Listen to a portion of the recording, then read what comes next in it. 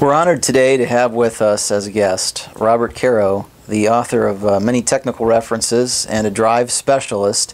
And that's why we're talking to him about his book on variable frequency drives, the electrician's technical reference.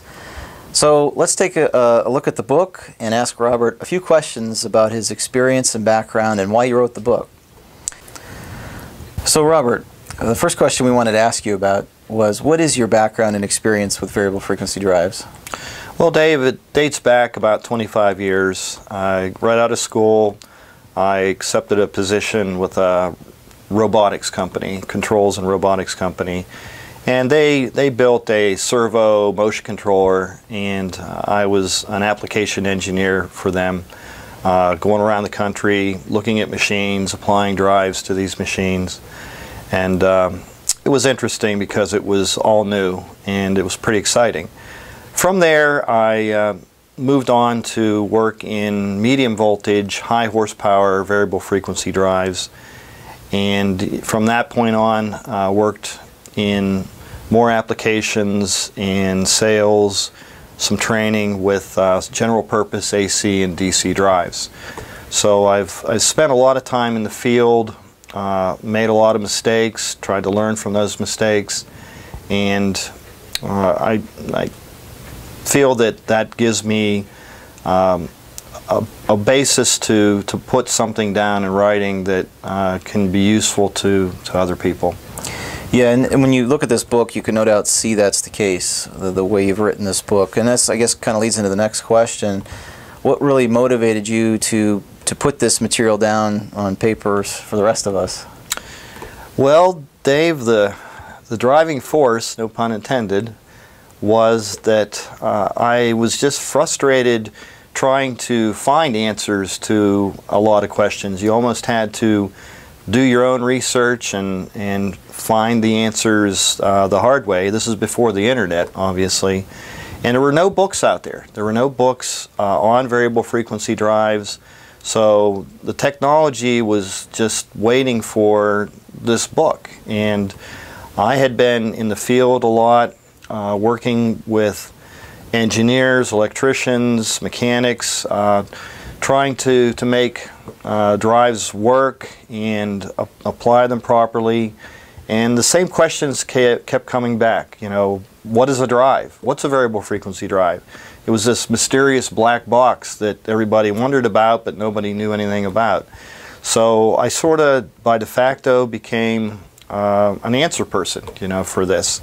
And again, not being able to get uh, a book and give it to somebody or use it myself, I said, you know, the, the industry needs a book. And so I kind of embarked on taking the information that I had accumulated. I did some white papers, did some uh, presentations and seminars for various organizations. Uh, took all that compilation and uh, eventually put it into a manuscript form and found a publisher that believed that it was a necessary book to put out there too.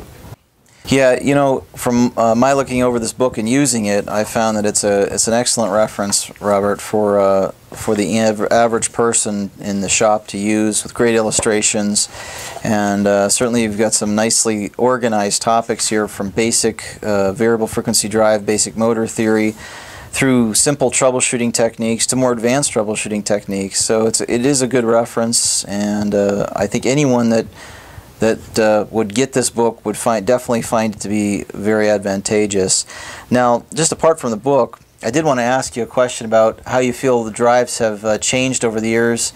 Anything you've seen that's uh, been particularly uh, big changes in the drive world over the years that you've been involved with the industry? Well, I think the first half of the, the drive life out there. So let's say that the drives were introduced in the 70s. Uh, I'd say for the first 20 years there were a lot of changes. You know, the semiconductors changed rapidly. Uh, the whole technology was just moving, you know, in a forward direction, changing real fast. Uh, not until we got into the the transistorized uh, design uh, in the drives did we start to really hone in on a on a platform topography, if you will, that would lend itself to uh, to being the most useful for you know most applications. And uh, so early 90s, uh, transistorized drives kind of really took off. Uh, they became more efficient, smaller in design and package. The costs came down. So then they were being able to, uh, to apply them uh, in a lot more places. Uh, so today, uh, the technology, in my opinion, has probably not changed a whole lot uh, in theory of operation for the VFDs, but you're applying them in more and more instances. And basically, if there's an electric motor out there, you can put a VFD on it.